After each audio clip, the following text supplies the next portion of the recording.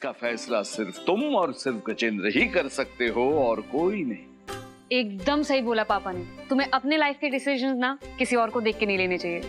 मैं भी पता नहीं क्या सोचने लग गई थी। लेकिन अंकल जी हो गया। अब घर पे जाकर डिसाइड करो। Bye tata good night good night good night bye bye चलो। मैं गीतू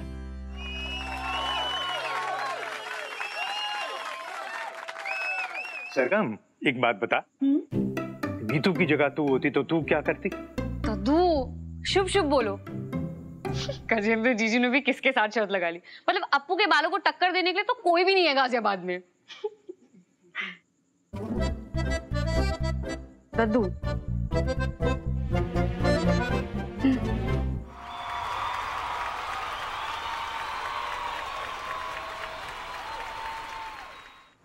साथी सारे साथी सरगम की है सारे साथी।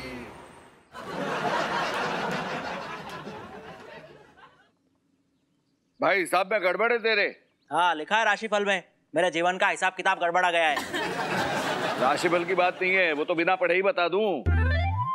मैं साड़ियों के हिसाब की बात कर रहा हूँ। आप ना सिर्फ़ मेरे पीछे मत लगा करो। बोल दे आस्तिक। अरे आस्तिक कुछ नहीं बोलेगा। हाँ उसका नोटिफिकेशन आ गया है। मौन व्रत धारण करो और सबको नमस्कार करते फिरो। जा भाई जा। वो लिस्ट अप्पू की है मेरी नहीं है। अप्पू के गीतू मार खाएगी अब तू। अरे शांत हो जा मैंने बोला है आशा भैया। आशा हमारे भैया को। वो वकील की नोटिस देके जाएगा उनका दोस्त प्रशांत। अपार शक्ति कहाँ है? यहाँ हिसाब में गड़बड़ है।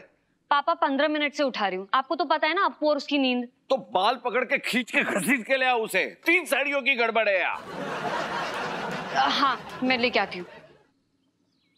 पापा ये क्या बोल दिया आपने? क्यों? खींचेगी बाल निकलेगा विग। अरे जाओ पकड़ो उसको।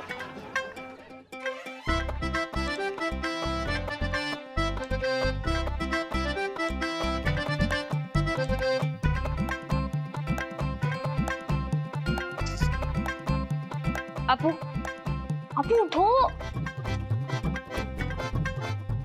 अरे पापा बुला रहे ना, कब से? उठो उठो उठो उठो उठो। अपू उठो। उठो उठो ना। अबे। हाँ गीतू। अरे, हम लोगों ने तुझे समझाया तो था। फिर भी तूने अगर जीजू को छोड़ने का फैसला ले ही लिया है तो मैं तेरी बात एक वकील से करवाती हूँ। अरे, जो वकील है ना, वो आशा भैया का दोस्त है। हाँ। अरे नहीं बाबा, कोई पैसे नहीं लेगा वो। हाँ नहीं, बहन मैं समझ सकती हूँ। मतलब गंजे पति के साथ ना किसी की भी ज़िंदगी बेकार हो जाएगी। अरे तू टेंशन मत लेना। हाँ हाँ। हाँ हाँ नहीं नहीं नहीं नहीं अरे मैं नोटिस भिजवा दूँगी बोल के भैया को। ठीक है? चल, तू टेंशन मत ले, मैं तेरे को कॉल करती हूँ। ओके बाय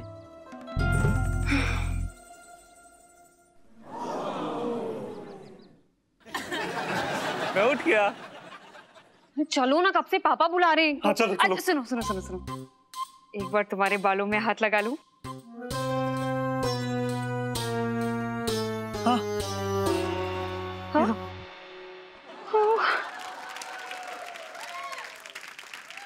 कितने मज़बूत हो गए।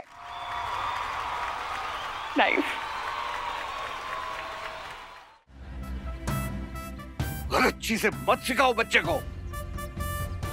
चिट पकड़ी भी जा सकती है। अरे तेरे आगे जो लड़का बैठा था उसने भी पढ़ाई नहीं की थी। आगे टीचर थे दादाजी मैं फ़र्स्ट बेंच पे था। फ़र्स्ट बेंच के हिसाब से तो ठीक ही आए। हाँ? सरगम भाभी। अगर आई तो मैं आप सबको बता दूँगा। मैं वहाँ खड़े रहकर नज़र रखता हूँ। हाँ हाँ। और एक तो ये सरगम को क्या ज़रूरत थी बिना मतलब की अपनी माँ से शर्त लगाने की? हमें तो तभी लग रहा था कि फ़ोन पर सरगम भाभी कुछ ज़्यादा ही कर रही है। लेकिन वहाँ दद्दू को भी जोश आ गया। क्रांति लेकर आएँगे हमारे अवस्थी। ये लो। आप टेंशन मत लो। चाची मुझे कुछ नहीं कहेंगे। बेटा टेंशन चाची की नहीं है चाची की मम्मी की है। वो ज़रूर हम अवस्थियों को कुछ न कुछ तो सुनाएगी। उन्हें तो मौका चाहिए अवस्थियों की इज़्ज़त का फालूदा करने का। मेरे पास एक आइडिया है बोलू? बोल। मैं अभी जाके सरगम भाभी को सब कुछ सच सच बोल देता हूँ। तू कुछ मत बोल तू वहाँ खड़ा रहे। ओके। और आप सबसे मेरा अनुरोध है गलती से भी सरगम को कोई कुछ मत बोल देना। बहुत साफ़ दिल की है वो। तुरंत अपनी माँ को फ़ोन लगा के सब बता देगी। और समधन जी हम अवस्थियों की ऐसी ऐतिहासिक बेइज्जती करेंगी कि हमको ऐसा लगेगा कि किसी ने कानों में एकदम गरम लोहा घुसा दिया हो।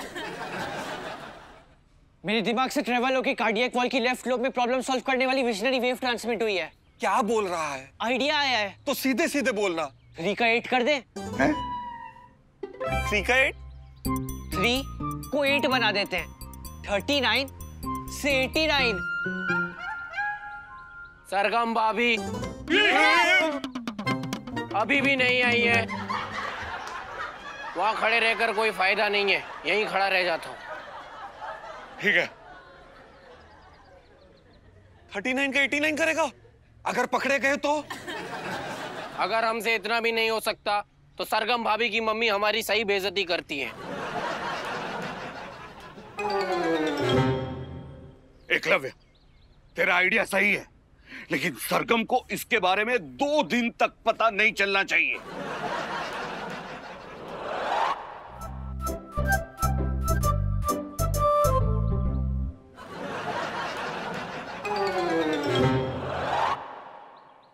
अकी यहाँ है तू? रिज़ल्ट आ गया तेरा? कितने मार्क्स आए? रिलैक्स बेबी इट्स फाइन अरे क्या फाइन मार्क्स कितने आए हैं उसके? भाभी आप यहाँ हम लोग कब से मार्कशीट लेके आपको ऊपर ढूंढ रहे हैं? अक्की ने तो कमाल ही कर दिया। हाँ छह बॉल पे छह छक्के समझ लो। छह छक्के? सिर्फ़ छत्तीस नंबर लेके आए ये? अरे नहीं वो तो थर्टी नहीं नहीं नहीं नीचे भाभी को मार्कशीट दे। खुद देखेगी वो। ये देखो।